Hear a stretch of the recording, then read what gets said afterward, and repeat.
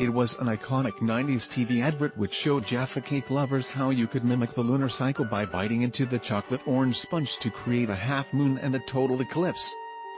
But McVitie's has now revealed that the classic Jaffa Cake eating technique is not in fact the best way to enjoy the sweet treats.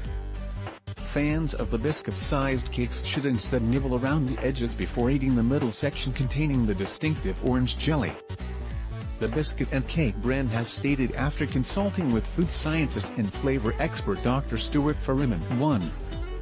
All-rounder eaten in this way by 28% of Britons eating around the edges before finishing with the middle segment containing the orange jam.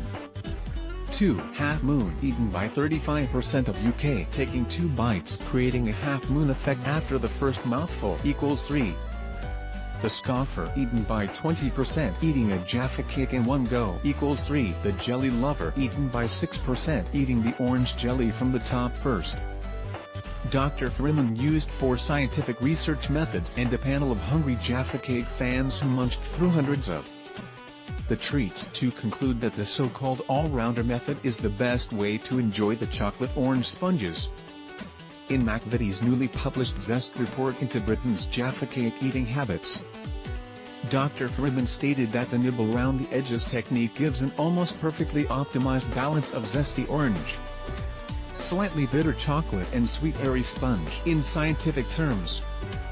This is called the hedonic breakpoint but a study by McVitie's shows that only 28% of the nation eats Jaffa cakes in this way with 35% opting to eat the sponge in two bites the so-called half-moon technique. However Dr. Farrimond found that creating a half-moon after taking one bite out of a Jaffa cake was only the second best way to eat a Jaffa cake. He said we ran a panel of experiments to discover the best ratio of chocolate, orange jam and sponge given that the orange jam layer is cooled in the central segment of the Jaffa cake different eating styles will result in different combinations of these three layers in each mouthful whilst the most common way to eat a Jaffa cake is the half-mooner technique. Our research concluded that the all-rounder with the middle portion of the Jaffa cake eaten as one gives the optimum sweetness, taste and flavor. This can only be fully appreciated by nibbling the edge off first and then eating the middle portion alone. There are four main ways of eating Jaffa cakes according to McVitie's including the all-rounder and half-moon methods. The other two are the scoffer in which someone eats the treat in one go and the jelly lover where a Jaffa cake fan eats the orange jelly first.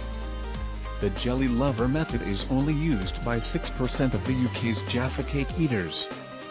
McVitie's also conducted research to reveal common personality traits against the four Jaffa cake eating styles the all-rounder nibble around the edge saving the best for last. You're determined, organized and thorough.